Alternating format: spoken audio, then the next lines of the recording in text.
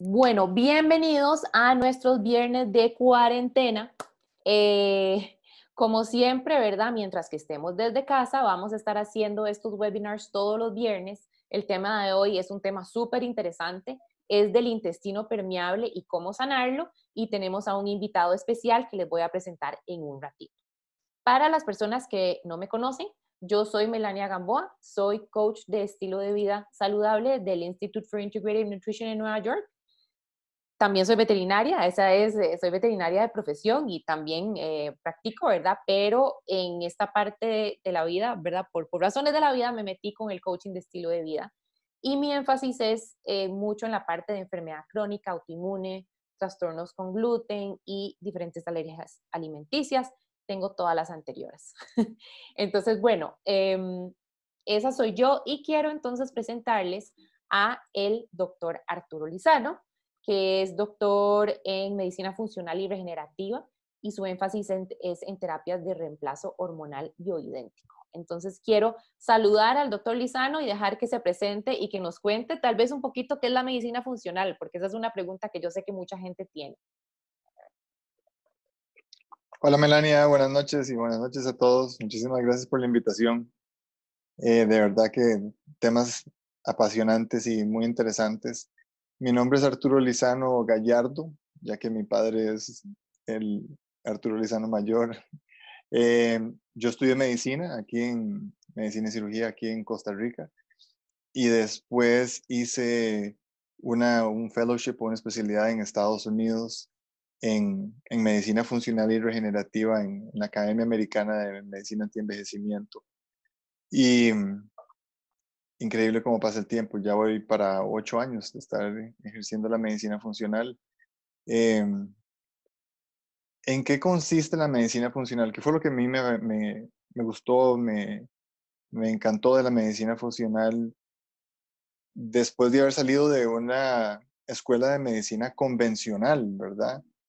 Eh, la medicina funcional tiene, una, tiene un enfoque muy interesante y es que la medicina funcional tiene un abordaje integral, ¿ok?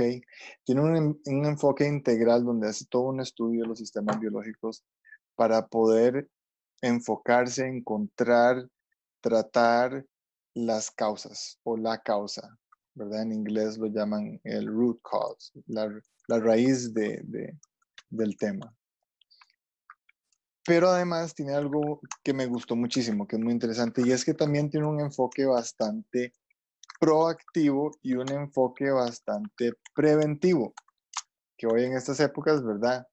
Este, no está de más y nos damos cuenta lo importante que es mantenernos, mantenernos con, con buena salud, ¿verdad? Aprovecho el comercial, porque, porque sí, sí debería de ser así.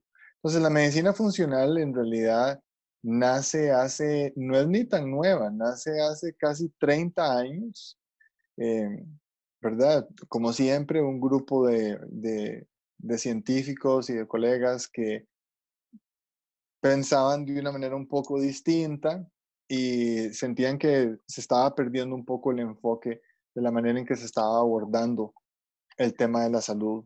Y no nos vamos a poner políticos hoy, pero se ha criticado un poco la manera en que nuestra lindísima medicina alopática se ha convertido en una medicina tal vez un poco muy sintomática, una medicina mucho más reactiva que una medicina más proactiva.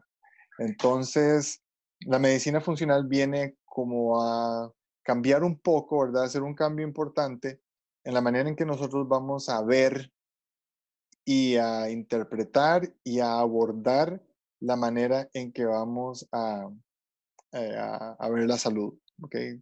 No, solo, no solo enfermedades, sino salud, ¿verdad? Porque, repito, hay un componente proactivo, un componente preventivo. A veces a mí, amigos o familiares o gente que conozco me dicen, bueno, pero ¿por qué yo tendría que visitar a un médico funcional? Bueno, lo bonito de la medicina funcional es que, repito una vez más, busca educar, ¿verdad? Busca enseñarle a los pacientes cómo poder llevar a cabo una vida más saludable, vivir más equilibrado. Y, y eso, es un, eso es un algo de todos los días. Entonces, no es una cuestión nada más de esperar hasta que yo me enferme para ir a visitar a un médico o para acudir a un profesional de la salud para que me ayude con, con mis temas de salud. Entonces, por ahí va, ¿verdad? La medicina funcional, en palabras muy pequeñas, es un estudio integral, un estudio panorámico de nuestra salud para lograr generar una, un balance, un equilibrio, una optimización de la misma. Y, nos, y de ahí es uno de los temas que vamos a abordar hoy, para que vean más o menos cómo por dónde es que se va metiendo eh, la medicina funcional. Ok, ok, súper buena explicación, muchas gracias. Hola. Para los que no sabían, ahora sí ya sabemos, entonces. ok, bueno, entonces les digo que si quieren mandarnos alguna pregunta, pueden usar la aplicación de preguntas y respuestas que está en la parte abajo del de, programa, el QIA o el QA, por ahí nos pueden enviar preguntas y nosotros les vamos a estar comunicando, si, si no pueden ver o no pueden escucharnos, eso sí, por favor escríbanlo en el chat. Em, y bueno, continuamos entonces con el tema del día de hoy, que es el intestino permeable. ¿Qué es entonces el intestino permeable? Es, es un síndrome, es una alteración de la pared del intestino delgado, ¿verdad? El intestino delgado comienza a ser muy dañado y hace entonces que las sustancias y los microorganismos y la comida sin digerir puedan pasar por esa barrera, que no deberían estar pasando por ahí, y llegar al torrente sanguíneo. Y entonces causan un montón de problemas. Em, el doctor Lizano nos va a hablar un poquito más con esta imagen que tenemos aquí. Entonces, Melania y yo quisimos compartirles esta, esta filmina, cortesía de un laboratorio muy importante en Estados Unidos. Eh, se los agradecemos que nos, permitan compartir esta imagen muy, muy bonita y muy ilustrativa. Y ni se preocupen por las cosas que dice, ¿verdad? Hay toda una secuencia de, de palabras ahí que algunas pueden ser un poquito técnicas. Lo que nosotros en realidad queremos ilustrar básicamente es que me imagino que todos están igual. Del lado izquierdo dice healthy gut, que básicamente en, en, inglés lo que nosotros llamamos como la tripa, ¿verdad? El intestino. En inglés lo llaman también el gut. Y healthy gut entonces es la tripa en su versión saludable.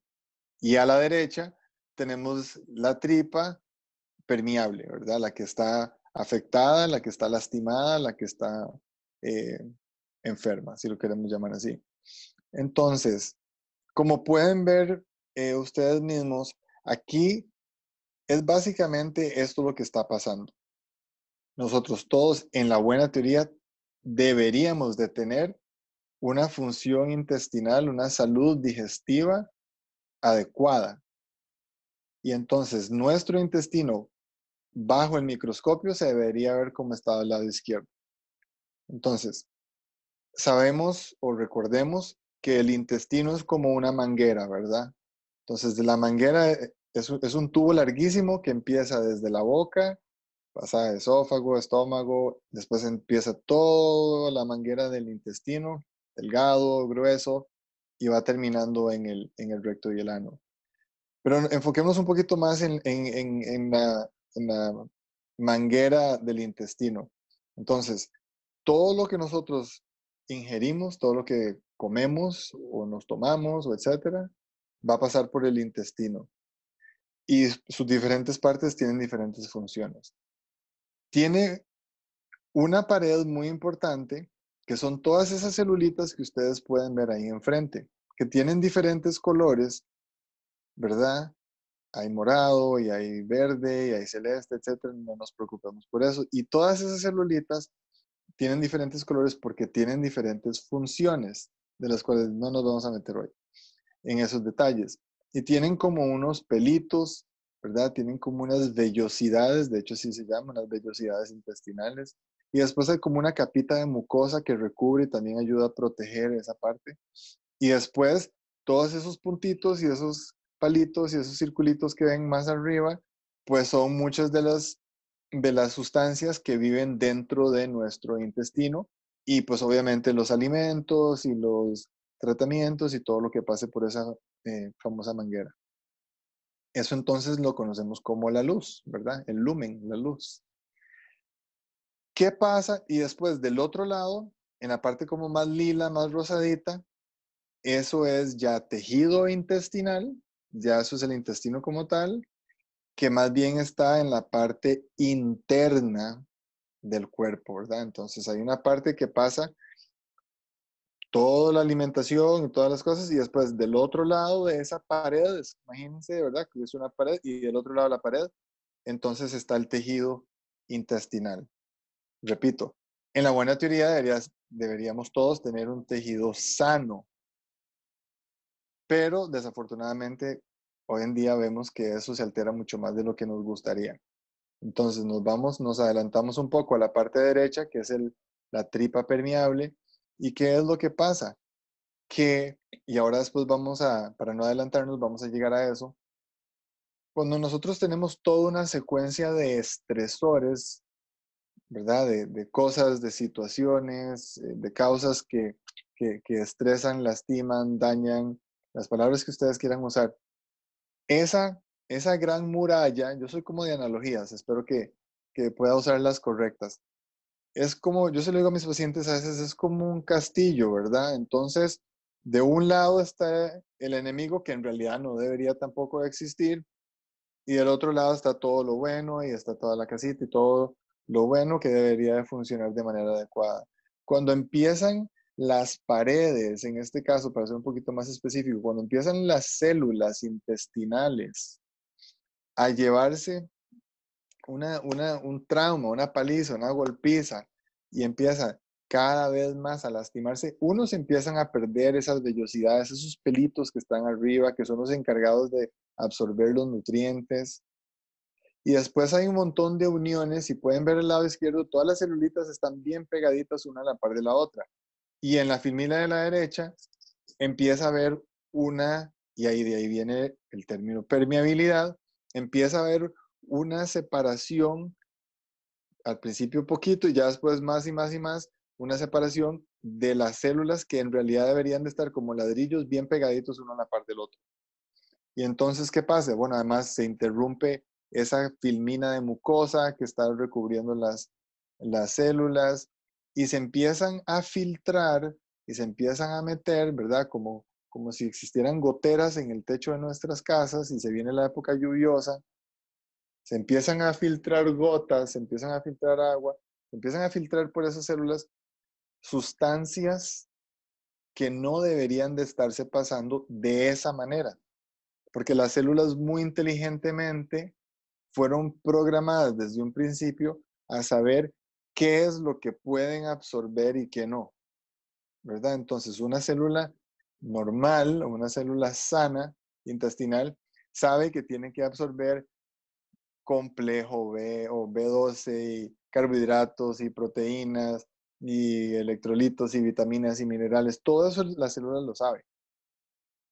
Pero no sabe cuándo se le meten las cosas de una manera inadecuada. Entonces, eso conforme hay más y más y más y más estrés o más interrupción, más daño, lo que ustedes quieran llamarlo, se va generando más daño a toda esta importantísima y compleja pared, a todo su entorno y se empiezan a filtrar al tejido interno del intestino muchas veces, pero el cuerpo es muy sabio. Y solo por si acaso algún día esto pasaba, entonces hay un ejército ¿verdad? Hay un ejército inmunológico, hay un montón de soldaditos que pertenecen a un ejército inmunológico, nuestras famosas defensas, que lo que van a hacer es que van a llegar a proteger y van a llegar a reaccionar y van a llegar a decir, bueno, ¿qué está pasando, verdad? Aquí vemos que se está metiendo un montón de, de gente o, ¿verdad? No invitada a nuestro castillo y entonces empieza a existir todo un ataque y, una respuesta inflamatoria, inmunológica, que al principio es local, al principio es nada más ahí en ese lugar de lesión, pero cuando eso se repite todos los días, semanas, y en muchos casos años, meses, años, entonces ya eso, porque en la filmina no sale, pero lo que sigue después de esa capita de tejido intestinal es la parte circulatoria. Entonces vienen unos capilares y vienen arterias, ¿verdad? Entonces, esto además después se puede meter en la sangre. Y como todos sabemos o recordemos, la sangre, ¿verdad? El sistema circulatorio es por donde viaja todo internamente en el cuerpo humano. Entonces, muchas de esas moléculas inflamatorias y muchas de esas moléculas inmunológicas y muchas de esas cositas que se han metido ahí, que se lograron filtrar, empiezan ya a viajar por el resto del cuerpo y algo que empieza en un solo lugar, en un lugar muy puntual, ya ahora hizo una diseminación generalizada. Y ahí es donde empezamos a tener problemas que después vamos a mencionar en la cabeza, en mis articulaciones, a nivel cardiovascular, a nivel hormonal, etcétera, etcétera, lo que ustedes quieran. Pero entonces, básicamente por ahí va la historia. Todos deberíamos de tener una pared intestinal buena y sana, con un entorno completamente equilibrado y balanceado, bueno y sano. Cuando no pasa y llegamos a la parte de a la derecha, conforme más y más se va dañando y se va afectando esa famosa barrera, de hecho si se llama una barrera, que nos protege, entonces se va poco a poco eh, aumentando y exacerbando la respuesta eh, eh, y la lesión y las manifestaciones clínicas y todo, todo ese malestar generalizado que se puede llevar a cabo. Por ahí va la cosa. Excelente explicación. Ok. Me parece excelente.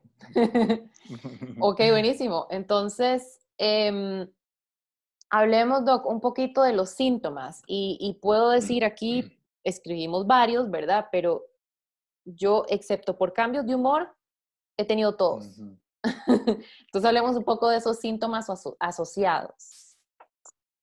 Sí, y es una, y es, bueno, es obviamente importantísimo, pero es súper difícil, ¿verdad? Lograr hacerlo de manera puntual, porque como ya expliqué, una vez que eso entra al torrente sanguíneo, entonces ya ahora puede pasar de todo, ¿verdad? Entonces, yo he visto pacientes que tienen cosas completamente distintas uno entre el otro. Entonces, aquí como muy bien eh, los mencionaste, y no vamos a ir leyendo filminas, pero verdad, podemos tener problemas claramente digestivos. Obviamente, estamos ante una problemática digestiva. Qué sé yo, que, que la, la famosa colitis o que la distensión abdominal o verdad el colon irritable o etcétera podemos, se puede manifestar eh, de manera inmunológica, entonces puede ya sea o manifestarse inmunológicamente o desarrollar una enfermedad hipoinmune o empeorar una, si ya tenemos una predisposición hacia alguna enfermedad inmunológica. Em, ahí mencionas problemas de tiroides, muy interesante porque quién diría, ¿verdad? Entonces eso siempre me gusta explicárselo a los pacientes. ¿Qué tiene que ver que algo que me pasa en la panza decimos maldicho panza en el intestino, me pueda llegar a afectar la tiroides, me pueda dar un dolor de cabeza, ¿verdad? Me pueda doler las articulaciones, este, me pueda dar un mal sabor en la boca, eh, me puede alterar mi estado de ánimo, como los, los has eh, puesto ahí, me puede generar un rash, ¿verdad? Me puede, se me puede hacer un salpullido, ¿verdad? Se me puede hacer un brote cutáneo. Entonces, qué interesante que, ¿verdad? Como un pulpo, cómo logran sus tentáculos llegar a tantos diferentes lugares. Entonces, las listas de manifestaciones clínicas que se pueden presentar, los síntomas asociados, puede ser en realidad, y eso lo hace más complejo, ¿verdad? Porque puede ser algo muy, muy, muy, muy grande, ¿verdad? Muy, muy amplio. Pero esos son como muy clásicos, ¿verdad? Eh, dolor de cabeza, fatiga, dolor articular, claramente de malestar eh, abdominal, reflujo, etcétera, etcétera. O sea, yo creo que una de las cosas que a mí me ha ayudado a entender esto es, eh, ¿verdad? El entender que una vez que esas cosas entran al torrente sanguíneo, que no deberían estar ahí, como comida sin digerir o bacterias o toxinas o lo que sea, el cuerpo va, va a atacarlo, ¿verdad? Y está bien, eso es lo que el cuerpo debe hacer pero a la hora de la hora siempre va a haber daño colateral. y uno de los órganos más sensibles, por ejemplo, es la tiroides y por eso es que muchas personas comienzan a, presentar síntomas. El problema es que no se lo encuentran hasta años después, pero fue algo que, comenzó 10 años antes, ¿verdad? Em, pero eso es importante de, pensarlo así, ¿verdad? Que siempre va a haber daño colateral. Entonces, por más que el cuerpo está haciendo el trabajo que debe hacer, em, va a haber daño en, otros órganos que no queremos que haya. Entonces, el, prevenir eh, el intestino permeable es sumamente importante para evitar todo este tipo de, problemas. Y les cuento que en el caso mío, eh, la fatiga crónica era algo terrible, o sea, nueve de la noche me apagan un switch y caigo dormida. La gente que está aquí que me conoce probablemente se está viendo porque así es. Y, después de que ya comencé como a, trabajar un poco en el tema de, de, curar mi intestino y demás, ya aguanto como hasta las 11 de la noche. O sea, son dos horas de vida todos los días más que me he ganado por, por ¿verdad? Por, por ver este problema. Ok, bueno, entonces hablemos un poco, Doc, del tema de las causas.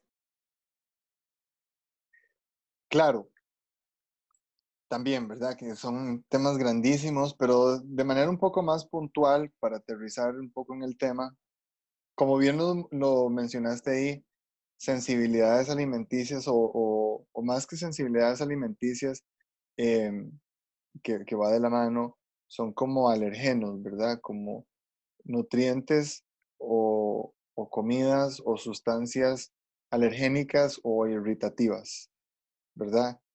Ya hoy en día eso está súper estudiado y sabemos que hay toda una secuencia de cosas que nosotros comemos que nos pueden irritar la vía digestiva. ¿Ok? No todo, este no es mi expertise, pero Melania nos va a ayudar más, ah, más adelante en esa parte. Pero no todo lo que nosotros nos metemos a la boca necesariamente es un nutriente y, no es, necesariamente bueno para nosotros. Hoy en día tenemos muy malos hábitos y hay mucha comida allá afuera que no es la que deberíamos de estar consumiendo y eso genera muchísimo daño a nivel intestinal. Alto en calorías o bajo en calorías, no importa. Son alimentos que nos van a lastimar la vía digestiva porque no fueron diseñados para que el cuerpo humano los, ni los necesite, ni mucho menos los sepa utilizar. Entonces, la parte alimenticia indiscutiblemente.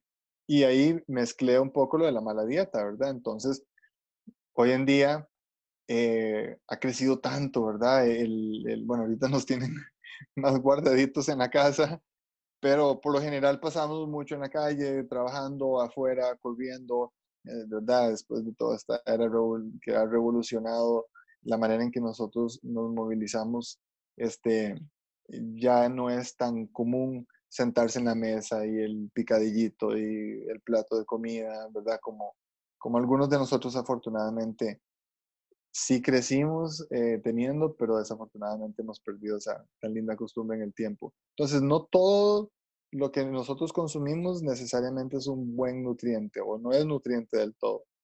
Estrés de tendríamos que dedicarle como a tres sesiones solo a, solo hablar del estrés, ¿verdad? El estrés es un problema eh, que indiscutiblemente es, es, es seriosísimo para el cuerpo entero y resulta ser que el estrés, podemos entrar en toda la fisiología que ustedes quieren, pero afecta tremendamente la salud de el, del intestino, ¿ok? Eh, fármacos otra cosa que me gusta tener mucho cuidado a la hora de mencionar esto, ¿verdad? Porque los fármacos, pues obviamente, en la buena teoría, debidamente prescritos por, por colegas, nosotros médicos o algún otro profesional de salud que, que haya hecho la recomendación adecuada. Pero sí necesito que la gente también aprenda y entienda que los fármacos también pueden generar daño, también pueden lastimar las paredes del intestino, especialmente, obviamente, los fármacos que son de uso prolongado, ¿verdad? Esa gente que le toca tomarse un medicamento 2, 5, 10, 15, 20 años, es, es, es eh, ¿verdad? Genera un daño eh, que está claramente estudiado. ¿Por qué lo menciono? eh, porque los pacientes necesitan saber, ¿ok? Estas cosas. Si usted va a tomar un medicamento mucho tiempo, tenemos que cuidarle y protegerle el intestino de otras maneras porque el fármaco es necesario. Y por ahí va la historia. Después mencionas carga tóxica. Hay otro tema que, que aprendí yo en la medicina funcional que me llamó muchísimo la atención, que es el tema, digamos, de metales pesados. Este, los metales pesados vienen en más cosas de lo que nosotros nos imaginamos. Uno es la alimentación, dos, a veces hasta la misma agua, tres, en los, ¿verdad? En los animales para los que comemos eh, eh, de, todo, ¿verdad? Una dieta balanceada, este, y en, y en, y en cosas tópicas, ¿verdad? En, en, este, en cosméticos también, interesantemente. Este, hasta nosotros que vivimos en un país precioso, lleno de sol, eh, los que escogen asolearse o hasta los que no escogen asolearse, ¿verdad? Y ponerse bloqueadores y todo eso, o las mujeres y sus maquillajes, o bueno, los hombres y sus cremas, etcétera. Todo eso resulta ser que día a día va generando una carga tóxica en el cuerpo porque estas son cosas que el cuerpo no fue diseñado para saber eh, manejar y tolerar. Entonces, eso va generando una carga tóxica en el cuerpo que va, ¿verdad? Martillando y va lastimando poco a poco las paredes intestinales, además de otras cosas que no son el tema de hoy. Esa palabrilla técnica que ven ahí, disbiosis, disbiosis es básicamente una palabra ahí toda bonita que lo que, lo que significa es desbalance de la flora bacteriana. ¿okay? Es, un, es un desbalance de la microbiota, que es la palabrilla nueva. Entonces, disbiosis es eso. Y en realidad mucho de lo que está pasando va a ser eh, la disbiosis. A mí me gusta mencionar el ejercicio fuerte porque a mí, a Melania y a mí, estoy seguro que muchos de ustedes nos gusta muchísimo hacer ejercicio. Costa Rica es un país que se presta para hacer mucho ejercicio este, y hay mucha gente que entrena de alto rendimiento, lo cual me parece fabuloso. Pero interesantemente el ejercicio de alto rendimiento no deja de generar un impacto importante en la salud. Y entonces mucha gente, y yo tengo pacientes que han hecho ejercicio de alto rendimiento, ¿verdad? Qué sé yo, que corren trail o que hacen Ironman, bueno, triatlón o maratones o, o ciclismo o aguas eh, lo que ustedes quieran. Y uno diría, pero si yo estoy saludable, ¿verdad? Yo estoy sano, yo no hago nada más que hacer ejercicio, ¿cómo a mí me puede estar afectando algo así a nivel intestinal? Bueno, resulta ser que sí. Lo podemos mezclar un poco con esa parte del estrés, es un tipo de estrés. Y eso, y eso está muy claramente documentado, entonces eso también es importante que lo, que lo sepamos. Obviamente infecciones, que yo creo que la manera más fácil de saber y conocer del tema de, digestivo es, ¿verdad? Cualquiera que ha tenido alguna gastroenteritis, alguna, eh, alguna infección intestinal. Y podemos seguir. Esas son como las más comunes, pero vean qué interesante cómo varía, ¿verdad? Como brinca de uno a otro y no tiene necesariamente un patrón. ¿Ok? Podemos hablar muchas más, pero nada más como más puntualmente de estas que son las más comunes. De hecho, les menciono que si tienen preguntas, por favor, usen la aplicación del QA o la QIA de preguntas y respuestas en la parte de abajo para cualquier pregunta que nos quieran eh, hacer y las vamos a contestar a la mitad y al final para no interrumpir el, como el flow de la presentación. Em, y ahí iba a mencionar que, bueno, yo sufrí de acné toda la vida y me acuerdo que cuando tuve como 14 o 15 años, que interesantemente fue cuando comenzaron mis síntomas, eh, me dieron antibióticos, que son súper malos y causan disbiosis, ¿verdad? Em, bueno, son súper malos si uno no los necesita, ¿verdad? Eh, el, el, como por dos años con antibióticos, Roacutane, una, una, un medicamento súper fuerte también, y las pastillas anticonceptivas, que eran como para la cara, ¿verdad? Pero las pastillas anticonceptivas las mujeres a veces las tomamos por 15, 20 años, inclusive más, y eso todos los días pues va creando un impacto en nuestro intestino, ¿verdad? Entonces, si yo siento que eso no me ayudó. bueno, em, pasemos entonces, pasemos entonces a el diagnóstico. También creo que ya me los hice todos. Igual, hoy gracias a Dios, ¿verdad? Existen, bueno, gracias a la, medicina, eh, a la tecnología y a los avances en, en la ciencia, este, ahora cada vez hay más, ¿verdad? Y eso, como cualquier profesión, cualquier carrera, siempre va avanzando y siempre van apareciendo cosas nuevas y siempre se van descubriendo y se van desarrollando eh, diferentes estudios y, diferentes maneras de tanto estudiar como de abordar, como diagnosticar las cosas. Em, desafortunadamente, y afortunadamente, afortunadamente, empezamos por bueno, afortunadamente ya hay ciertas cosas en Costa Rica que podemos ir haciendo. Eh, desafortunadamente todavía nos falta camino, ¿verdad? todavía falta que, que, muchos de esos importantes estudios lleguen a, no solo a Costa Rica, sino a, Centroamérica y a Latinoamérica, o sea, todo, toda nuestra región, pero ahí, vamos, ahí vamos, poco a poco. Em, aquí, aquí Melania menciona manitol, lactulosa, sonulina, SIBO. Esos son, esos, ni se preocupen mucho por esas palabras. Este, si los quieren apuntar, pues es importante. La sonulina es uno de los más avanzados, de los más modernos. Ese no se hace en Costa Rica, por lo menos no que yo sepa.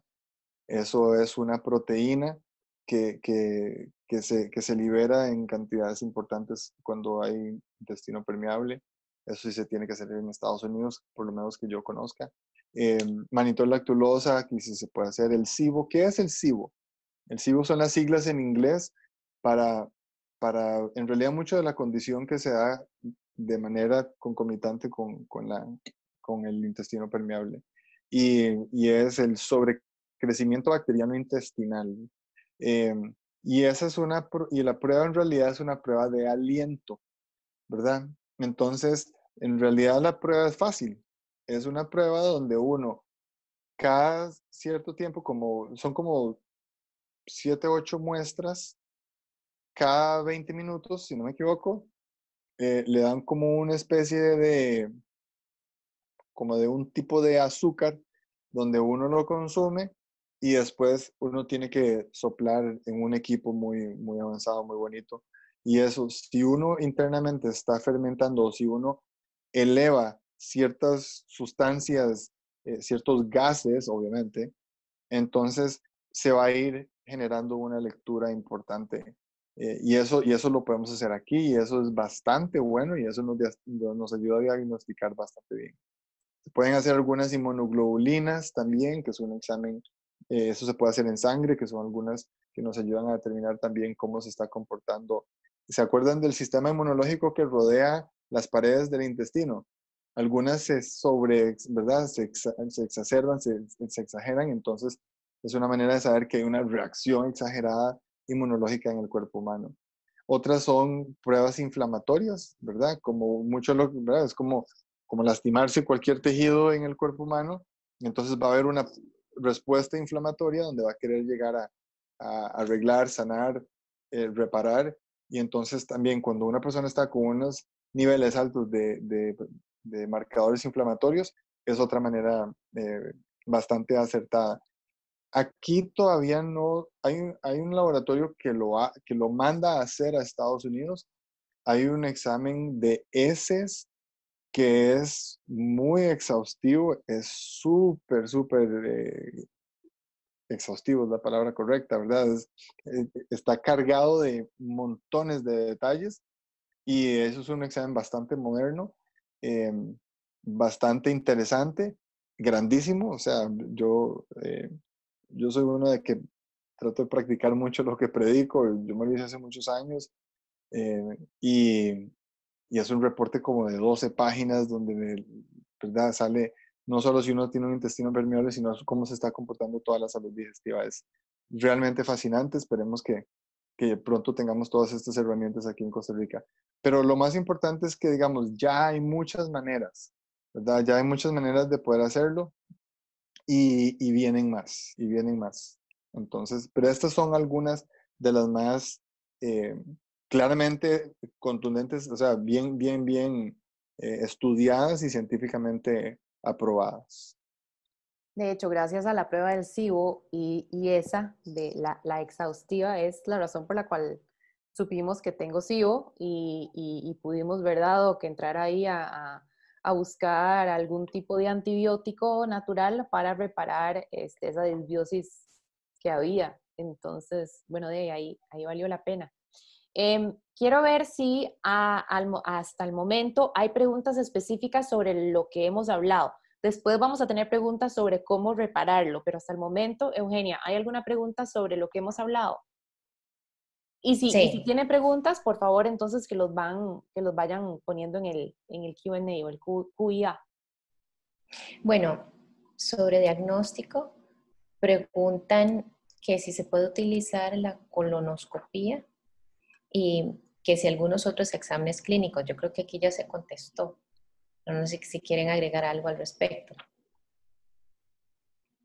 Sí, bueno, repito nada más un poquitito, con todo respeto a, mis colegas gastroenterólogos, que además en este país hay un montón que son excelentes.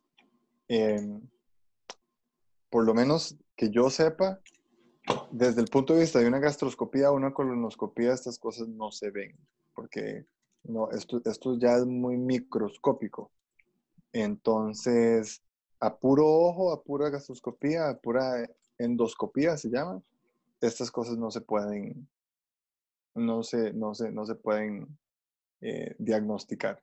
Tienen que ser exámenes más, más, más funcionales, ¿verdad? De marcadores más específicos eh, de, de, la salud del, de la vía digestiva. Ok, tenemos otras preguntas. ¿Puede la lisina sellar la porosidad intestinal? Bueno, no sé si hemos llegado al tema de remedios. Dejémosla para el final, porque ah, vamos a hablar un poco de eso, sí. Mm, vamos a hablar, a ver. Es importante valorar o asociar el tema de intestino permeable con TEA. Eh, perdón por la ignorancia, ¿qué es TEA? Don Alejandro, si nos puede aclarar también, le agradezco para contestarle esa pregunta. También Alejandro pregunta si es importante o indispensable el uso de probióticos para evitar el intestino permeable. Eso lo vamos a contestar más adelante. Eso lo vamos a contestar más adelante. Ok, perfecto. ¿Y qué tanto juegan los parásitos en este desequilibrio? Posiblemente la disbiosis. Muchísimo. Es parte de la parte, es, la, es parte de, de lo de las infecciones. ¿Verdad? De la misma manera que nosotros, eh, existe todo, es que, wow, podemos hablar tanto de, este muy interesante tema. Este, nosotros internamente, me voy a volver nada más una pizquita, un poquitito.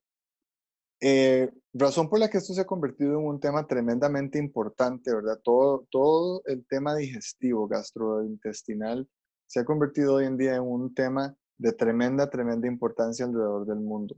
¿Por qué?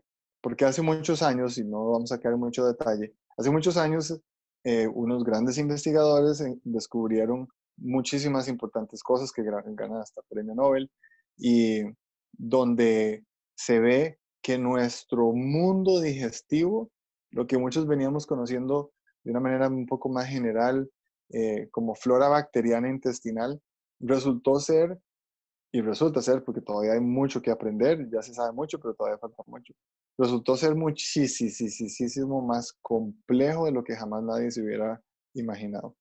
Imagínense que viven, se estimula que viven, ¿qué es? Lo último que se dijo creo que era como 100 trillones, trillones de microorganismos dentro de todo lo que es el tubo digestivo, ¿verdad? Todos esos microorganismos, toda esa flora bacteriana, nosotros estamos naturalmente inoculados, eh, colonizados por trillones de microorganismos. Entonces, cuando eso pasa, resulta ser que muchas de estas familias o conocidas cepas cada vez se van descubriendo más, resulta ser que tienen funciones muy específicas. ¿Ok? ¿Por dónde voy? Nosotros internamente entonces vamos a tener muchos microorganismos que son parte de nuestro organismo. Nosotros hemos aprendido y nuestro cuerpo aprende a vivir de manera simbiótica con todos estos microorganismos. Pero también, un poco lo que está pasando ahora en el mundo, también existen otra secuencia de microorganismos, bacterias, virus, parásitos, amebas, lo que ustedes quieran, que no son parte de ese mundo digestivo y mucho menos de nuestro, micro, de nuestro organismo, y entonces empiezan a generar muchísimo daño. Entonces, claro que sí, el crecimiento de parásitos, eh, claro que va a generar un problema de infección y un problema de disregulación de la salud digestiva desde leve hasta problemas importantísimos. Y tal vez ahí... Ok, entonces aprovecho para hacer un par de preguntas em, que están relacionadas. Em, ¿Qué papel podría jugar la disbiosis en las enfermedades psiquiátricas? Y volviendo a la pregunta anterior, em, que si es importante valorar o asociar el tema de intestino impermeable con trastorno del espectro autista. También pregunta si la depresión también está asociada al intestino permeable. Ah, ok, TEA, trastorno espectro autista. Ok, muchísimas gracias por la aclaración y disculpo no haber entendido de un principio. Bueno, eso es, eh, yo soy hijo de psiquiatra, entonces eh, para mí la parte de la salud mental es algo que me encanta, es un tema que me apasiona y es un tema que comparto mucho, de hecho, con mi padre. Nos hemos involucrado mucho, él y yo, eh, hemos hecho un, poco ahí de, de, equipo y trabajamos muchísimo lo que se llama, esto no lo inventamos nosotros, es, salud, es salud mental integral, si lo puedo traducir literalmente al español. Entonces, hay una, sin ponerme muy técnico, hay una cosa muy interesante. Resulta ser que otros de los importantes descubrimientos que se llevaron a cabo, que se han llevado a cabo, es que todo ese tubo digestivo resulta ser que está también cubierto por toda una conexión del sistema nervioso central. Entonces, cuando nosotros éramos un huevito, ¿verdad? Y cuando nos fuimos formando, terminó existiendo y todavía, todavía existe una conexión directa entre el sistema nervioso central y el sistema digestivo. Entonces, como eso sabemos que está directamente relacionado, resulta ser que todo ese, ese, ese, ese tubo digestivo, en una de las partes del, musculares existe todo un plexo donde se producen un montón de neurotransmisores y de células propias del sistema nervioso central. Entonces, de hecho, muchos dicen que parece ser que existe la producción de serotonina en el intestino, tanto como en el cerebro. Entonces, imagínense eso. Entonces, claro, si eso es así, bueno, eso es así, está claramente estudiado y muy, muy, muy bien documentado. Entonces, una persona que vaya a tener trastornos digestivos por supuesto que se va a ver afectado directamente con todo lo que tiene que ver la parte del sistema nervioso central. Y se ha visto hoy en día que pacientes que pertenecen al, espectro del trastorno autista eh, tienen una repercusión importante para bien o para mal, dependiendo de su salud digestiva. Y la evidencia y los estudios y, que, se ha realizado en estos temas es fascinante. Yo en realidad no trabajo mucho con eso y, tampoco menos en niños, pero eh, tengo algunos casos que he colaborado y, la evidencia es muy sólida y es muy interesante y es muy, muy, prometedor. Entonces, en fin, eh, para no alargarlo, existe una relación directa, directa entre lo que pasa a nivel digestivo y lo que pasa a nivel del sistema nervioso central. Por eso es que pueden existir.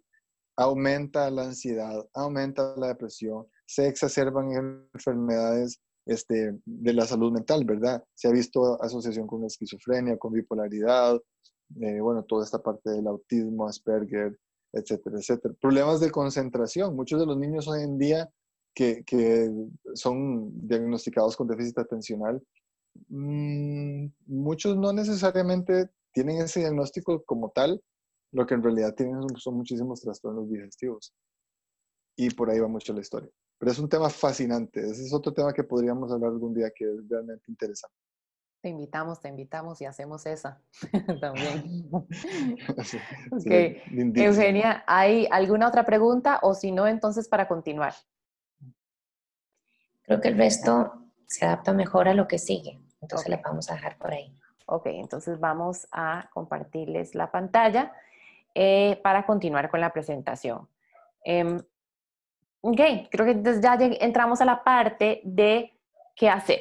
Tenemos un intestino permeable, pero no todo está perdido, porque sí hay formas de sanarlo. Hay cinco pasos y vamos a verlo uno por uno, pero básicamente el primero es eliminar todo aquello que nos está haciendo daño y desintoxicarnos. Vamos a hablar de ese tema también. Em, luego, promover la digestión y la absorción de ciertos nutrientes que son importantes. Luego, recolonizar la microbiota, que como el doctor les mencionó, la microbiota son todas esas bacterias y microorganismos que están en nuestro intestino. Queremos que estén ahí, pero queremos que estén los, los que nos sirven, ¿verdad? Luego, reparar el revestimiento del intestino y finalmente rebalancear esa conexión entre el intestino y el cerebro. Entonces, comencemos con la eliminación y la desintoxicación.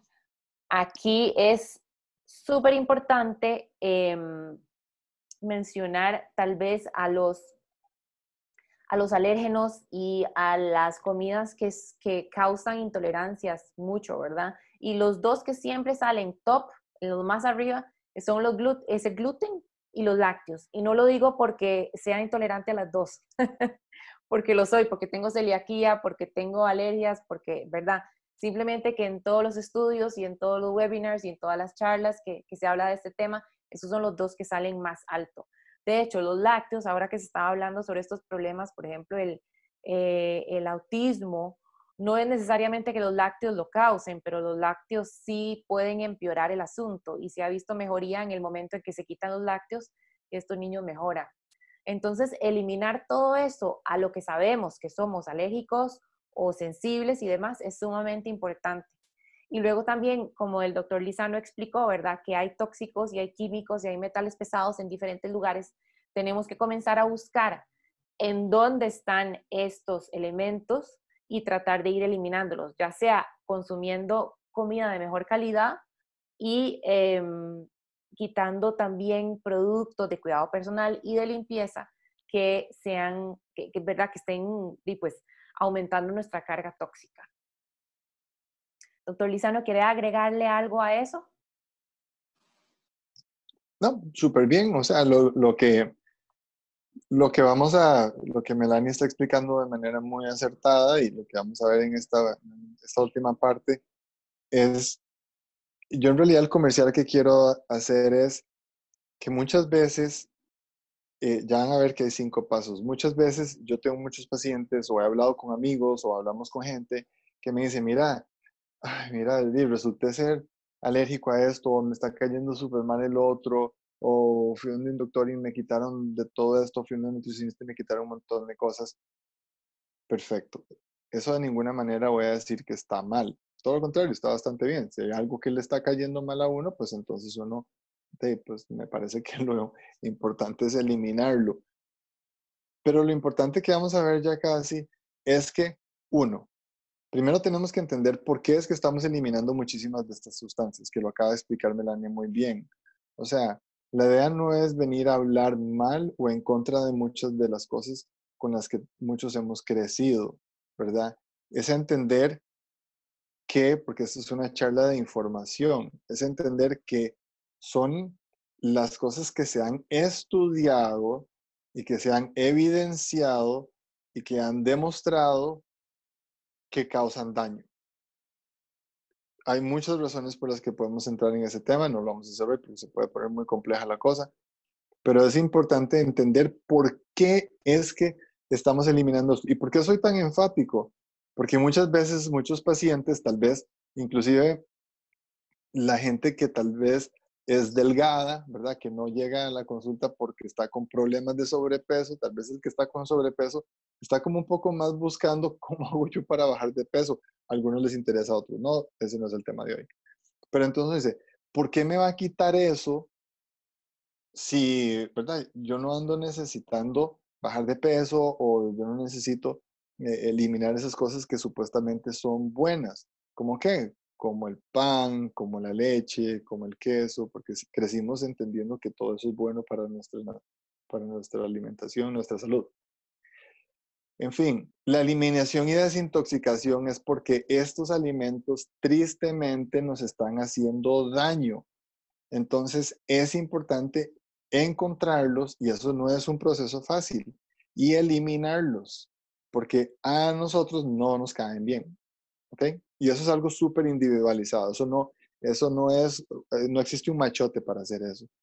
Entonces aquí lo, lo, explica muy bien Melania, así, y con los tóxicos, ¿verdad? También a veces se dice que hay mucho mercurio en ciertos tipos de pescados, pues entonces, qué rico el pescado, qué rico este tipo de pescado, pero si resulta ser alto en mercurio, que es un metal pesado, que es tóxico para el cuerpo, pues entonces tengo que ya sea o eliminarlo o disminuirlo y así podemos dar un montón de ejemplos. Y ahí es donde viene, es muy importante el concepto que vimos la semana pasada, que era de la bioindividualidad, ¿verdad? Y de lo importante que es que cada persona vaya conociéndose y tener esa relación tan, tan estrecha, ¿verdad? Con su intuición para saber y entender las señales que el cuerpo le está dando, porque no necesariamente todo sale en los exámenes. Los exámenes nos ayudan pero no necesariamente son perfectos, ¿verdad? Entonces, a través de, la prueba y error y esa intuición podemos ir dándonos cuenta si alguien, algo de verdad nos está haciendo daño o más bien si nos hace bien. Entonces, bueno, ese era el primero, el primero de cinco pasos. Perdón. Luego viene la digestión y absorción. Y para poder digerir bien y absorber bien, hay ciertos alimentos que le caen muy bien al intestino. Eugenia, ¿puede por favor ponerse en el chat eh, el enlace a la, a la receta del caldo de pollo, del caldo de hueso de pollo? El caldo de hueso de pollo es una de las mejores cosas que podemos comer porque tiene colágeno que nutre al, revestimiento del intestino, ¿verdad? Y, y es fácil de digerir y tiene proteínas y minerales. Después están las cosas como los vegetales fermentados, que también hablamos un día de estos, que es como el chucrut, el kimchi, la kombucha, todas estas, lo ideal sería tener un montón diferentes y comer todos los días un poquito, porque cada uno de estos vegetales fermentados tienen una familia de bacterias buenas diferentes y necesita, entre más variedad tengamos, más protegido va a estar nuestro sistema. Luego, interesantemente, los productos de coco em, son em, el coco es antibacterial, es antimicrobial, entonces, y reduce la, inflamación. Y es una grasa saturada y le tenemos como miedo a la grasa saturada, pero es una grasa saturada de cadena media. Entonces no nos va a engordar. De hecho, nos va a hacer muchísimo bien. Las semillas también, como por ejemplo la chía y la linaza, son buenísimas eh, porque ayudan a la digestión. Comidas altas en omega 3, el omega 3 es, es antiinflamatorio, ¿verdad? Entonces todo lo que sea el salmón, los pescados de, clima frío son altos en omega 3. Todas las hierbas y especies, como por ejemplo cúrcuma, em, jengibre, canela, que son súper antiinflamatorios, la albahaca, la hoja de laurel, la manzanilla, cardomomo, todos esos, todo lo que le queremos poner en nuestra comida son súper medicinales. Y por supuesto tenemos que trabajar en aumentar nuestra densidad nutricional y tratar de buscar esos alimentos, frutas y vegetales con colores densos. Entonces es, es más denso en nutrientes una fruta que tenga color tanto afuera como adentro va a tener más nutrientes que una fruta que no tenga color adentro, que sea blanquita por dentro. Pero la variedad también es importante. Y luego, por supuesto, el manejo del estrés, ¿verdad? Porque el estrés ya vimos que es súper tóxico. Entonces, bueno, paso número dos, digestión y absorción. Y pasamos a recolonizar la microbiota. Doctor Lizano. Em, ok, entonces, recolonizar la microbiota. Y ya lo explicamos un poquito, ¿verdad? La microbiota básicamente, muy sencillo, es ese nombre formal, ese nombre bonito que se le ha dado a la flora bacteriana intestinal. Okay. En inglés es microbiome, en español es microbiota y así se le denomina, se, se, le llama a todo, esta, a, todo este gran sistema. Entonces, como ya mencionamos que tenemos trillones de microorganismos que viven con nosotros, dentro de nosotros, muchos de ellos viven ahí al propio y, y, para ayudarnos a que nosotros vivamos y regulemos y metabolicemos de manera adecuada. Entonces, cuando existe, ¿se acuerdan de la palabra disbiosis, verdad? Disregulación de la microbiota, desbalance de la microbiota. Entonces, nosotros tenemos que ayudar de alguna o algunas maneras a rebalancear y recolonizar todos esos microorganismos y toda esa salud digestiva y todo ese balance y ese equilibrio intestinal con el que necesitamos vivir. Y aquí es donde se ha puesto, no me gusta a mí decir que se puso de moda, pero bueno, se puso de moda y ya, ha aumentado tremendamente la información y el uso de probióticos, ¿verdad? Entonces, la gente me dice, bueno, yo tomo probióticos y me tomo este probiótico, me tomo otro probiótico. Yo, bueno, a ver, no está mal, pero digamos, ¿para qué se lo está tomando? ¿Verdad? O sea, si yo les enseño a ustedes la cantidad, no, no podría, la cantidad de probióticos que hay en el mercado hoy en día, de sería, o sea, nos, nos, darían semanas eh, tratando de, de verlos todos. Los probióticos, es importante que nosotros aprendamos a entender cuáles son las cepas o las familias que han, que han estado bien estudiados, número uno, porque si no, entonces nos vamos a tomar cosas que realmente no nos van a cumplir mayor función. ¿Cuáles son para mí según mi condición? ¿Y en qué cantidad? Yo tengo pacientes que tienen unos problemas digestivos muy importantes de hace muchos años y toman, solo, no me quiero poner muy técnico, solo como para que se den una idea, y toman dos billones de unidades o cuatro o cinco billones de unidades de probióticos. Solo para que entiendan un poco el ejemplo. Cuando estamos en la etapa de recolonización, a veces necesitamos llegar a usar 225 billones de unidades de, de probióticos. Entonces, si yo necesito 200 billones, 100 billones de, de X, Y, Z cepa para que me ayude a mí a recolonizar, a regular mi problema, entonces, si yo me tomo un probiótico que no es el que yo necesito y a una dosis que no es para mí, entonces no le estoy haciendo mayor, ¿verdad? No, no estoy, por lo menos no estoy en un proceso terapéutico, ¿verdad? Y eso es muy complejo. De la misma manera, tal vez yo necesite nada más vivir con uno de 5 porque es nada más de mantenimiento y me ando tomando uno de 100 y eso es lo que me tiene con una distensión espantosa y sintiendo gases y me siento horrible y hasta con dolores de cabeza. Entonces, es todo un tema, ¿verdad? Y no todo tiene que ser solo con probióticos.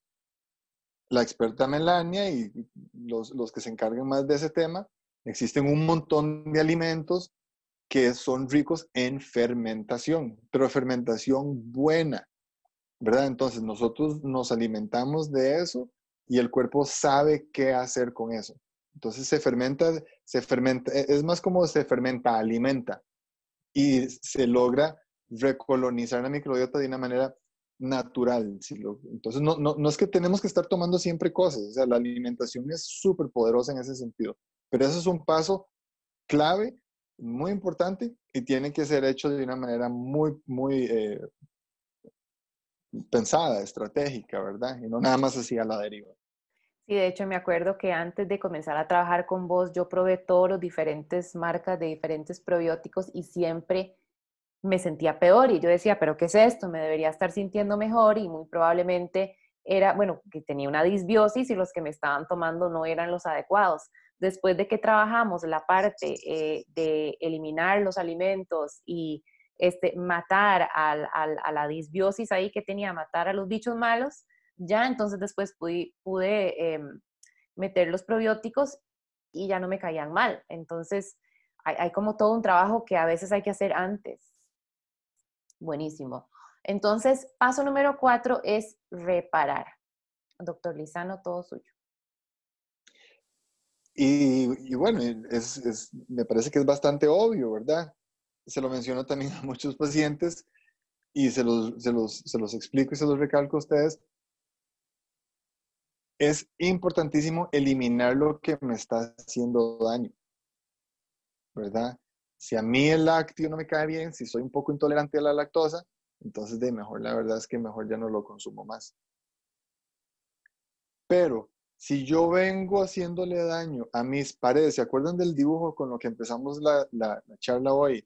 O sea, esa filmina que ilustra muy bien lo que le pasa a un intestino o las paredes del intestino de un intestino saludable a un intestino lastimado.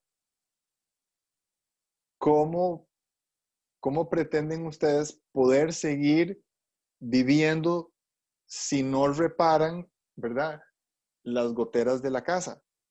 Cada vez que llueva, se les va a volver a meter el agua.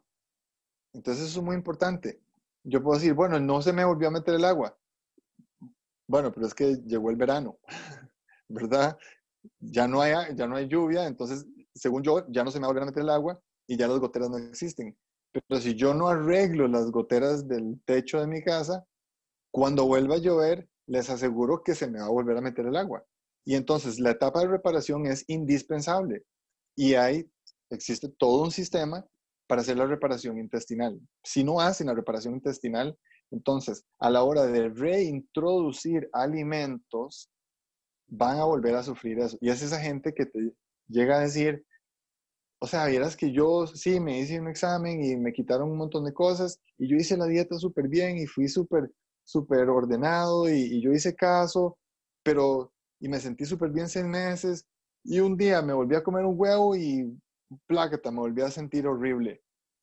Claro, no es que el, no es que, no es que el huevo me odia, es que yo no reparé las paredes del castillo, ¿verdad? El castillo fue lastimado, fue bombardeado, y si yo no vuelvo a reparar las paredes del castillo, entonces muy fácilmente se van a volver a, meter los intrusos. Entonces, para eso existen toda una secuencia de nutrientes, repito, muy bien estudiados, que precisamente ayudan a reforzar y a, y a sanar y a reconstituir las paredes.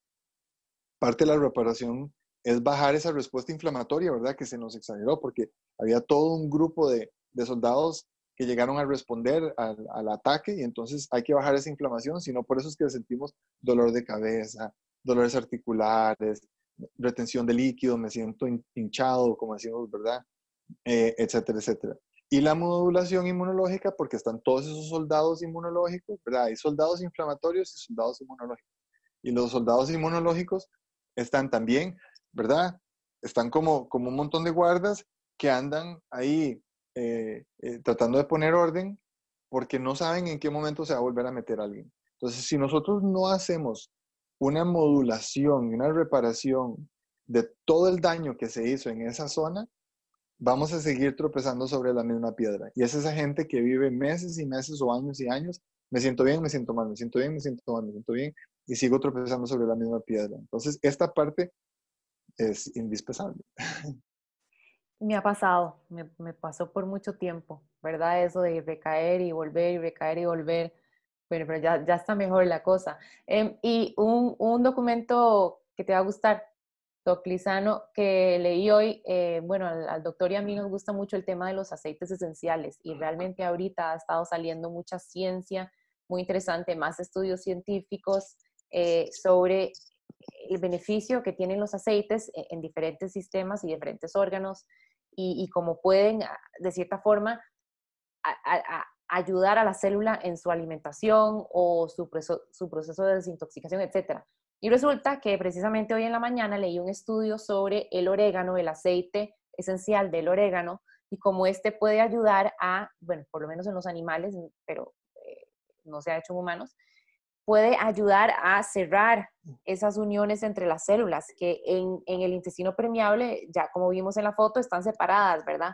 Y el aceite de orégano ayuda a, volver a unirlas. Y no solo eso, porque el, aceite de orégano también es, una, es uno de esos antibióticos naturales que se puede utilizar eh, en una disbiosis dependiendo de, de la disbiosis que uno tenga. Entonces ayuda ahí como a dos cosas. Pero me llamó mucho la atención no sé qué pensás. Súper chido, súper interesante. Todo el tema de los aceites esenciales, de verdad que ha sido un tema, yo sigo aprendiendo, pero, pero sí me ha llamado muchísimo la atención la cantidad de, de valor científico que tiene. Súper. Correcto. Ok, y finalmente, finalmente, el punto número 5 sobre rebalancear. Entonces tuvimos una muy interesante pregunta que, me llevó a, explicar uno de los temas que me encanta, ¿verdad? Como dijimos, Resulta ser que existe toda una conexión directa entre el mundo y la salud digestiva y el mundo, ¿verdad?, de la salud mental, o sea, el sistema nervioso central. Hay una conexión, hay hilos que están atados uno al otro directamente. Entonces, como todos sabemos, aquí en el cerebro es donde se mandan las señales, ¿verdad? Es como el centro de operaciones. Entonces, si las señales salen de aquí, como pueden ver en, la ilustración, eso, eso en, en medicina se llama una retroalimentación. Entonces, obviamente, a mi cerebro le va a llegar una señal buena o mala, diciéndome que hay algo que está pasando bien o mal en alguna parte del cuerpo. Entonces el, cerebro lo detecta y el cerebro después manda una señal a esa zona para ver cómo logra eh, arreglarlo, balancearlo. Entonces, cuando nosotros estamos en una alteración del eje, eso, es un eje, ¿verdad? Entonces, cuando uno, cuando uno llega a tener meses y años de alteración digestiva, resulta ser otra, una cosa que no mencionamos hoy, porque hay muchos temas y entonces no, nos da tiempo desafortunadamente a hablar de todo. Hay un montón de hormonas también, ¿verdad? Hay toda una secuencia de hormonas y, los famosos neurotransmisores se, pueden, se consideran como una especie de hormonas. Hay muchas hormonas que se liberan, que se producen y se liberan en el intestino, ¿verdad? Entonces, cuando viajan en sangre y llegan a mi cerebro, entonces mi cerebro detecta que ese sistema está funcionando adecuadamente o no. Entonces el cerebro después le va a mandar una señal para ya sea o disminuir o inhibir o aumentar la respuesta de esas hormonas o de ese sistema que está fallando. Entonces al final, como llevamos, es como, a ver, es como cuando llevamos el carro al taller, ¿verdad? Que uno lo, tal vez em, anda uno ahí como que necesita cambiar las llantas o perdón, necesita uno recalibrar el carro. Es parecido, el, carro anda todo desbalanceado y si uno lleva unos días de andar ahí medio desbalanceado, entonces calibrarlo no va a ser ningún problema o va a ser algo súper fácil o súper rápido. Pero si llevamos meses o años manejando un carro que anda todo destartalado ahí, todo desbalanceado, pues obviamente después ajustarlo va a costar más yo no soy mecánico, entonces, perdón, no sé si me salió bien la analogía, pero eh, hay que lograr rebalancear nuevamente ese eje que ha estado mandándose señales eh, desequilibradas y, y, en, y, ¿cómo se dice? Disincrónicas, o sea, ¿verdad? Ha perdido su sincronicidad y ha perdido su, su, su, su, su orden. Y entonces tiene que volver a darse un reequilibrio para que el cerebro sepa que tiene que calmar, ok, ya cerebro, cálmese, ¿verdad? Ya deje de estar mandando tantas señales al, intestino, ya el intestino está mejor, y el intestino le manda señales al cerebro diciéndole, tranquilo cerebro, todo bien, todo bien, ¿verdad? Es como la junta directiva de la compañía, le mandan señales y le dice, jefe, tranquilo, ya, ya, ya todo está más tranquilo, entonces ya deje de estarme mandando señales para, para tener que arreglar las cosas. Ya, ya todo volvió a su normalidad, ok, y entonces ahí nuevamente ese equilibrio se va a seguir llevando a cabo de una manera armoniosa. Y si no, pues de la otra manera. Entonces ese rebalanceo final, ya para volver a salir a la calle, también es muy importante. Y todo, por eso es que todos esos pasos tienen, tienen, ¿verdad? Todo, toda una ciencia, ¿verdad? Todo aquí, obviamente no entramos en muchos detalles y eh, tal vez muchos preguntarán, bueno, pero ¿qué me tomo? Y, y, pero para, ¿qué hago para cada uno de ellos? Es que necesitamos entender por qué existen, por qué existe cada paso y qué es lo que tiene que hacer cada paso y por qué es que cada paso se tiene que llevar a cabo de manera ordenada, porque si no entonces no voy a volver, no voy a poder salir yo de esta situación este, ahora y nunca, ¿verdad? Entonces, ese es el mensaje que, que me interesa más que quede claro, ¿verdad? que, que, se, que, se, respeten los, los, los procesos, los pasos eh, en, en, en, en, esta, en este eh, en este manejo, ¿verdad? En este tratamiento. Y de hecho, una de las cosas importantes que a mí me, me, gustaría que se lleven es que la comida no es solo comida, la comida es información. El material genético que viene en esa comida, las, las bacterias lo perciben, lo entienden y le mandan señales al, al cerebro a través de esta conexión, ¿verdad? Entonces, toda la comida que comemos es información Y ahí es en donde yo siempre le digo a la gente, bueno, no se trata de, esto me va a engordar o esto, ¿verdad? ¿Será que esto me va, no sé, usualmente la pregunta es, ¿esto me engorda o no? La pregunta que nos deberíamos estar haciendo es, ¿qué información le va a estar dando esta comida a mi cerebro? Lo va, ¿Le va a mandar eh, señales de inflamación, de que me están atacando? ¿O le van a mandar señales al cerebro y al intestino, ¿verdad? De que todo está bien, de que todo está calmado, ¿verdad? Y, ahí es en donde es el poder tan importante de la alimentación. De hecho, se me olvidó mencionar, Eugenia, usted podría poner ahí el enlace que le mandé por WhatsApp, que es el de la receta de la leche dorada, que es, es una bebida eh, tradicional india que tiene leche de coco y cúrcuma, que son, eh, es súper desinflamatoria, y también tiene canela y otras cosas que además de que, sepa, de que sabe rico, ¿verdad? También eh, tienen muchos poderes antiinflamatorios. Como lo hicimos en la vez pasada, ¿verdad? ¿Qué es Canela Wellness y qué son los servicios que ofrecemos? Pues Básicamente lo que hacemos es apoyo, guía y motivación para personas que están buscando tener más, más, más vitalidad, energía, mejorar la calidad de vida. A veces uno siente que está bien, pero no es hasta que hace ciertos cambios que se siente mucho mejor, ¿verdad? Y también apoyar a esas personas que tienen enfermedades crónicas, autoinmunes, alergias, las tengo todas, sensibilidades alimenticias, temas específicas como con el gluten, y eh, lo hacemos a través de sesiones de acompañamiento, charlas, talleres, webinars como este y planes antiinflamatorios que podemos crear para ustedes con un montón de las cosas que vimos hoy y también para reducir la carga tóxica. Entonces, si quieren algo, ahí está mi información, le pueden tomar una foto a esa pantalla y se ponen en contacto con nosotros. Entonces, vayámonos, Eugenia, a las preguntas, por favor. Con mucho gusto. Entonces, eh, tal vez retomando de la parte anterior, quedó una pregunta que si el intestino eh, permeable podría también estar relacionado con la migraña. Totalmente.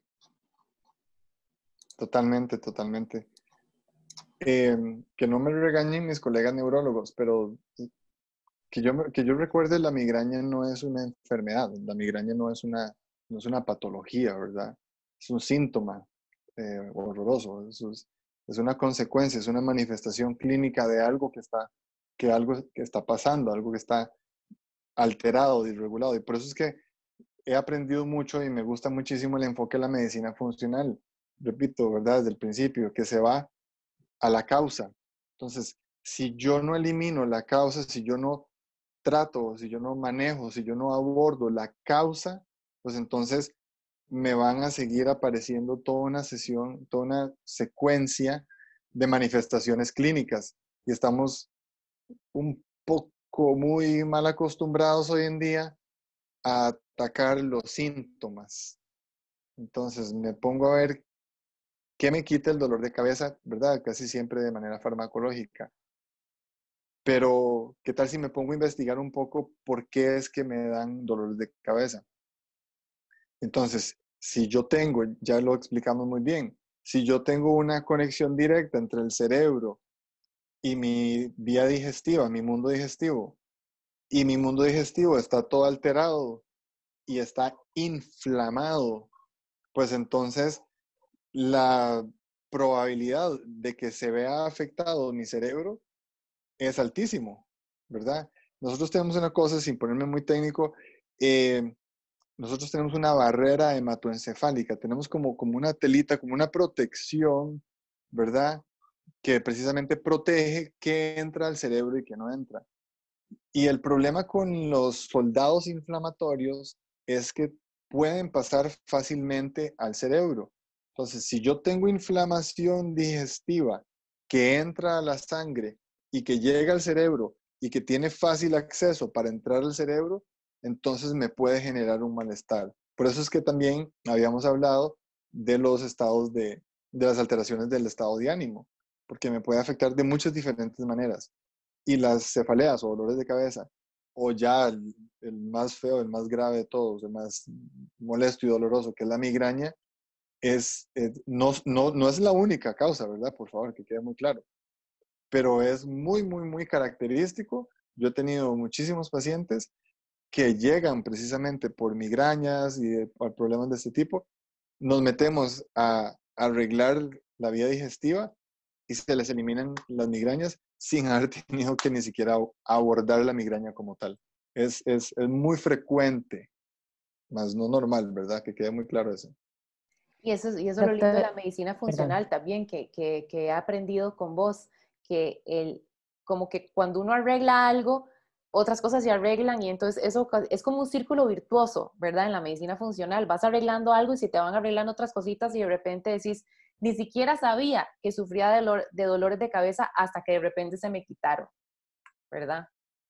Completamente. Yo, y yo cuando, de verdad, otra cosa que me hace mucha gracia, mucha gente no entiende porque mi primera cita, la primera vez que yo conozco a un paciente, mi primera cita normalmente dura de hora y media, dos horas, a veces puede durar un poco más.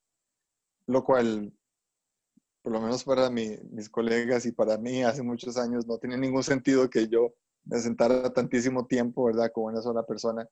Ahora me hace todo el, el sentido del mundo. Y yo escribo y escribo y tomo nota y tomo nota y le pregunto, ¿verdad? Toda una secuencia de cosas que muchas veces el paciente no viene poniéndole atención. Y después, conforme va pasando el tiempo, ¿verdad? Como pasó con vos, yo decía, bueno, Melania, contame, y voy preguntando muchas veces la misma cosa para ir viendo la evolución. Y, ¿verdad? Gente no se ha dado cuenta que antes, ¿verdad? Yo he tenido gente inclusive que llega que cree que, que, que, ir al baño, ¿verdad? Que, que tener un hábito defecatorio de cada tres días es normal. Y yo, no, es que eso no es normal, ¿verdad? pero ya son tantos años que se acostumbró, entonces ni siquiera lo menciona. O, o se acostumbró a, a, ¿verdad? a que le duelen los codos, o, o de que tiene un, un, brote aquí en el brazo, detrás de los brazos, y de ahí, no sé, de, lo tengo desde chiquito, y entonces de, yo nací así, así me acostumbré, y, y, y, así soy yo. Y uno, no, no, no, es que, es que así no es como debería ser.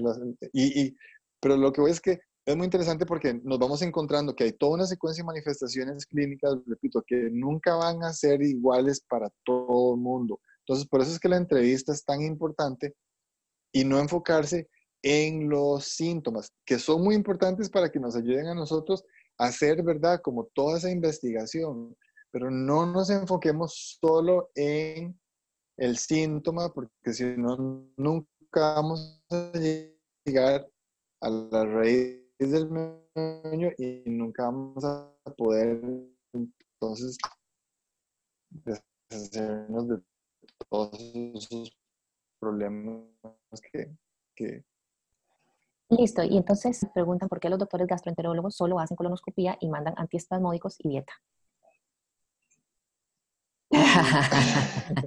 Pregunta complicada. Bueno, yo, yo trato de compartir toda esta información de la manera más armoniosa posible, ¿verdad? Porque eh, todos somos de los mismos y, y, tengo muchos amigos, eh, grandes colegas que admiro y respeto tremendamente. Y yo lo que quiero decir es que eh, tal vez lo que ha pasado, es que quiero buscar mis palabras cuidadosamente, creo que hemos escogido eh, llevar la medicina y el manejo de, la salud de maneras distintas. Yo cuando conocí medicina funcional no sabía que existía. A nosotros en la escuela de medicina no nos cuentan de esto. Nadie sabe y mucho menos nos entrenan en estas cosas. Entonces esto para mí fue un mundo muy nuevo cuando yo, después de ya graduado y trabajar como doctor, conocí lo de la medicina funcional. Y todavía yo tengo ocho años de estar haciendo esto y hay días en que todavía tengo que digerir, ¿verdad? Tragar duro porque hay conceptos que todavía se, salen un poco de todo ese entrenamiento que yo tuve por muchísimos años. Entonces, ¿por qué les estoy dando una respuesta que me cuesta que sea concreta? Porque nosotros fuimos entrenados de una manera muy, muy, muy clara y, y no todos escogen abrir y, ver las cosas de una manera más amplia. Sí, suena bien, ¿verdad? Entonces, escogemos seguir en una medicina y, y en un abordaje estrictamente alopático, estrictamente convencional. Y todo lo que se sale del entrenamiento alopático que nosotros tuvimos, mm, no, eso no sirve o, ¿verdad? Eso no funciona, eso no tiene evidencia y se, ¿verdad? se desacredita, lo cual es muy triste porque la evidencia sí está ahí, sí existe, hay toda la evidencia que ustedes quieran, ¿verdad? Estamos en la era de la información. Entonces, perdón que no pueda dar una respuesta concreta, pero nada más quiero ser cuidadoso con mis palabras es porque todavía están muy eh, eh, dirigidos y, apegados a una medicina eh, convencional, no tradicional, convencional. Y yo creo que ese es el problema que estamos teniendo. Además, nos cuesta mucho trabajar en equipo. Digamos, esto es algo que tiene, tiene, tiene que ir de la mano de una nutricionista. Yo no soy nutricionista, yo no, yo no aprendí nutrición en la escuela de medicina, a mí me gusta mucho el tema de nutrición, pero yo no me encargo de la parte nutricional de mis pacientes. Entonces, si yo no tengo la capacidad de trabajar en equipo, entonces esto es casi, casi imposible arreglarlo o, trabajarlo, ¿verdad? Porque tiene que, ser un, tiene que ser un trabajo en equipo para que cada uno aporte lo suyo y eso a veces a muchos les cuesta. Entonces, por eso es que todavía, todavía falta un poco eh, eh, en, ese, en ese aspecto. Y digamos, hay, hay, países en donde ya se está haciendo ese trabajo en equipo, en donde se tiene al doctor, al nutricionista y el coach, ¿verdad? Que ayuda a la parte más de la motivación y del cambio de comportamiento y realmente forman como un equipo para el paciente. Entonces, qué bonito porque cada uno puede ir eh, poniendo de su expertise para darle el mejor, eh, eh, digamos, la mejor atención al paciente. Y pues los, mm, no, no todos pueden hacer todo, ¿verdad? No todos somos expertos en todo. Entonces ahí es donde es tan bonito la, sí, la, la unión hacia la fuerza, creo yo. Totalmente. Tenemos, uy, ya son las media, entonces un par de preguntillas más, Eugenio. Hablando sobre, sobre los probióticos, que si es importante, aquí van varias, si es importante rotar o cambiar la marca o tipo de probióticos, que cómo sabe uno qué cantidad de billones de bacterias tiene que tomar uno y, y cómo se conoce el tipo de cepa y cantidad necesaria de los microorganismos faltantes. Uy, qué, qué buena, qué buena pregunta. Em, y es un poco difícil de contestar. ¿Por qué? Porque, vuelvo al tema, en la buena teoría lo ideal es que cada quien tome lo que necesita, ¿verdad? Y que es una costumbre espantosa que hemos adquirido, no sé si los latinos o alrededor del mundo, que, que nos vivimos recomendando cosas, ¿verdad? Entonces, yo me tomo esto porque a, mi primo le cayó súper bien y, y de, yo veo como que a, a mi mamá le han caído súper bien esos probióticos, entonces yo voy a probar a ver cómo me va. Y es que así no funciona porque la idea es que la terapia sea dirigida hacia las necesidades de cada uno de nosotros. Entonces, no es lo mismo una cantidad de probióticos si yo nada más estoy haciendo una etapa de mantenimiento y yo nada más quiero, ¿verdad?, que me ayude a tener una buena salud digestiva, o si estoy en plena reparación, como les dije al principio. No es lo mismo tomarse una cantidad como de 5, 10 o hasta 20 billones de probióticos por cápsula son eh, colonias formadores, es un tema, perdón. A que si estoy en plena reparación y necesito 100, 200 billones. Si yo estoy bien y me tomo 200 billones, me voy a sentir horrorosamente mal. Me voy a sentir súper distendido, me puede dar dolor de cabeza, me siento hinchado, o sea, un montón de cosas. Entonces, no debería haber tomado tanto. Si yo estoy con un problema importante de, alguna patología intestinal y me tomo un poquitito de probióticos, no me está haciendo mal, pero no me va a ayudar en nada y no me va a resolver. ¿Cuáles cepas son las que yo necesito? Eso hoy en día es un poco difícil porque los exámenes son pocos son, no se hacen en Costa Rica. Bueno, sí se hacen, pues se mandan a Estados Unidos. De hecho, sí se pueden hacer aquí, pero se mandan a Estados Unidos, donde sí es muy, muy, muy interesante. Em, decimos en Costa Rica muy chiva, ¿verdad? Donde ya hoy, lo, ya hoy logran detectar cuáles importantes cepas, cuáles importantes familias están deficientes y cuáles están sobrefermentadas. Entonces, si uno tuviera la oportunidad de hacerse ese examen, de sería lo ideal. Si no, un poco, se va uno un poco por lo que la evidencia demuestra que son las familias más importantes del mundo digestivo y entonces uno va recolonizando en esos casos. Pero, pero sí tiene como que saber uno cuáles combinaciones hacer. Una cosita más.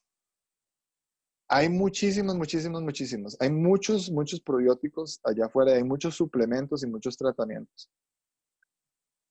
Pero hay muchos que son muy malos. Hasta ahorita ya va mejorando un poco la cosa, pero por mucho tiempo la mayoría de los probióticos tenían que ser refrigerados. Entonces, hasta hace poco, cualquier probiótico que uno se tomara que no fuera refrigerado, básicamente ya estaba muerto. Entonces uno se estaba tomando probióticos muertos. Y los probióticos de alguna manera tienen que estar, digamos que vivos, y entonces de, de nada estaba sirviendo. Entonces, malísima opción. Ya ahora existen obviamente todos los refrigerados, pero eso tiene todo un cuidado porque tiene que estar siempre refrigerado, inclusive el transporte. Eso es una buena manera de saber si son buenos o malos. Y hay nuevas generaciones que ya vienen encapsuladas en esporas, que ya esas sí aguantan la temperatura ambiental. Entonces esas sí pueden, eh, no se necesita que estén refrigeradas. Pero repito, cuáles son y todo, es mejor que uno, ya sea, lo ideal es de visitar un médico que además sepa del tema, o por lo menos hacer la investigación de todo lo que hemos hablado hoy. ¿Cuáles síntomas tengo? ¿Cuáles podrían ser las posibles causas? qué es lo que estoy teniendo y entonces qué es lo que más me puede ayudar a mí. O sea, pueden hacerlo. Y por último, sí es importante, si yo ya estoy bien, si yo ya estoy equilibrado, si yo ya salí del proceso de reparación y quiero siempre tomar probióticos como para ayudarme y siempre mantenerme bien, entonces sí es bueno que cada, más o menos cada tres meses, variar el probiótico. ¿okay? No vivir pegado en el mismo probiótico siempre, variarlo, variarlo cada cierto tiempo. Tres meses, seis meses, tres, cuatro meses.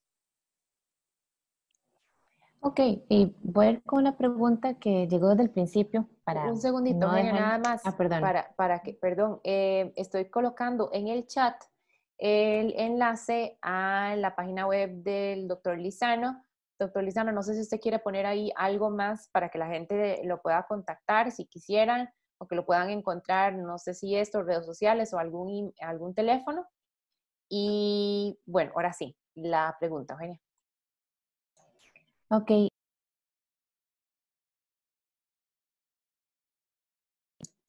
Perdón, que si puede la lisina sellar la porosidad intestinal. qué pena terminar la noche con una respuesta que no sé dar. Lisina, lisina como tal, no estoy muy claro y entonces no me voy ni siquiera a atrever a dar una respuesta que no es la que se merece la persona que, hizo la pregunta.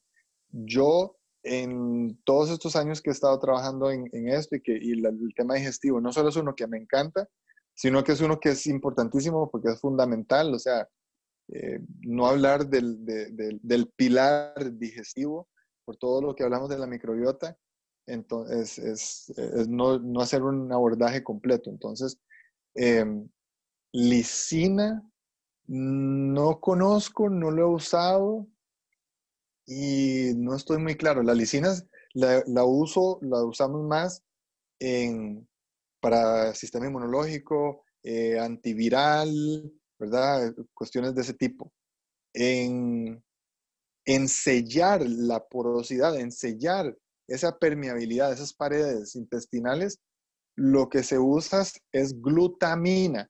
Y por eso lo que mencionaba Melania del caldo de, de, ¿verdad? El bone broth, el, eh, caldo de hueso de pollo. De, hueso de pollo, gracias, es tan importante porque se ha visto que diferentes tipos de colágenos y, y la glutamina, que es un aminoácido, de hecho se usa, mucha gente la usa para, para entrenar, eh, post-entreno, etcétera, La glutamina a ciertas dosis tiene que, saber, tiene que ser dosificado correctamente.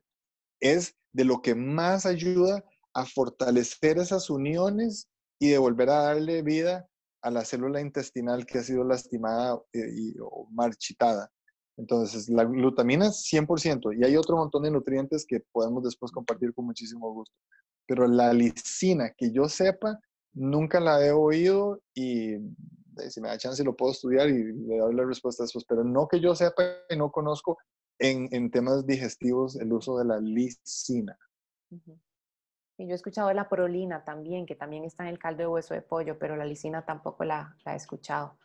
Em, eh, no sé, tenemos chance para una pregunta más. Ok, em, le voy a dar entonces aquí a chance quien, quien, hizo preguntas antes. Hay, hay varias, pero podemos terminar con esto. Sí, los fármacos son dañinos, entonces los suplementos de origen no natural son también dañinos. Ok, por, por favor, por favor, tiene que quedar muy claro esto, ¿verdad? Los medicamentos, si son correctamente, adecuadamente, responsablemente prescritos por un, por un médico o por la persona indicada, por favor, sí hay que tomárselos, ¿verdad? Sí hay que tomárselos, sí hay que usarlos, pero sí es importante que nosotros los médicos empecemos a, también a entender y a explicarle a nuestros pacientes que existen toda una secuencia de medicamentos que además con el uso prolongado le pueden generar mucha disregulación al sistema digestivo. Entonces, no es que son malos, pero, pero bueno, sí pueden generar un desbalance y entonces tenemos que trabajar de la mano si ese medicamento yo lo tengo que seguir tomando durante un tiempo prolongado. Eso por un lado. Y después, el tema de la suplementación también podemos hacer toda una charla sobre suplementación, pero trataré de hacerlo en pocas palabras la suplementación hoy en día ya, ya está teniendo más regulaciones que antes, pero por muchísimos años no le, no, no le dieron mayor importancia a los suplementos eh, nutricionales. Y entonces, de cualquier persona podía comprar lo que, lo que quisiera y cualquier persona o cualquier compañía podía producir, eh, fabricar suplementos nutricionales y de, en realidad nadie les iba a decir nada. Entonces, surgieron miles de compañías que fabricaban suplementos de pésima calidad. Y hoy, en realidad, un poco por, por, respeto, no, no, me voy a poner a, a, enumerar quiénes son las compañías famosas que son conocidas por hacer suplementos de muy mala calidad, pero les aseguro que si se meten a investigar un poquitito van a encontrar respuestas muy claras. ¿Qué es el problema con esto? No se trata de, pelearnos con ellos. Se trata de dos cosas muy interesantes y que dicho que me tocaron este tema. Uno, ¿de qué me sirve a mí tomarme un suplemento que yo me estoy tomando con la intención de que me va a ayudar a mí a estar en un mejor estado de salud? Si más bien me está haciendo más daño. ¿Por qué me está haciendo más daño? Porque si ese suplemento no trae, no es de, no es de grado terapéutico, que de hecho ahora ya existen suplementos nutricionales de grado terapéutico. Es otro tema, se llaman nutracéuticos. Si yo no me estoy tomando un suplemento de grado terapéutico que yo compré con, el, con toda la intención de que me ayude a mí a sanar mi intestino, entonces, ¿qué va a pasar? Muy posiblemente ese suplemento no traiga todo lo que el suplemento dice que trae. Si no trae lo que dice que trae, entonces, ¿con qué llenan esas cápsulas? Las llenan con harina, las llenan con azúcar, las llenan con, con, arroz, las llenan con un montón de cosas que son irritativas, que son alergénicas. Entonces, qué irónico. Yo vengo con un problema digestivo para tratar de arreglar mi problema digestivo y me tomo cápsulas que solo están empeorando mi condición. De fatal. Entonces, tengo que tener muchísimo cuidado con qué escojo, porque si no, por hacer una gracia, termina la cosa peor. Número uno. Y dos, si esas cápsulas no son lo que supuestamente deberían de ser, entonces yo estoy tomando con la intención de que mi intestino absorba y utilice nutrientes que mi cuerpo necesita, pero como no son nutrientes, sino que son una bola de arroz con almidón, con gluten, con etcétera, etcétera, entonces no le estoy haciendo ningún bien a mi intestino. Entonces más bien se convierte en un círculo vicioso. Entonces, saber escoger, que es otro tema, saber escoger cuáles suplementos realmente son de buena calidad, es muy importante hacer la investigación, porque si yo nada más voy a cualquier lugar y compro cualquier suplemento y es todo lo que acabo de explicar, entonces me voy a hacer más daño que el bien que estoy tratando de hacerle. Y nunca voy a lograr nada bueno. Todo lo contrario, voy a, voy a seguir en un ciclo vicioso.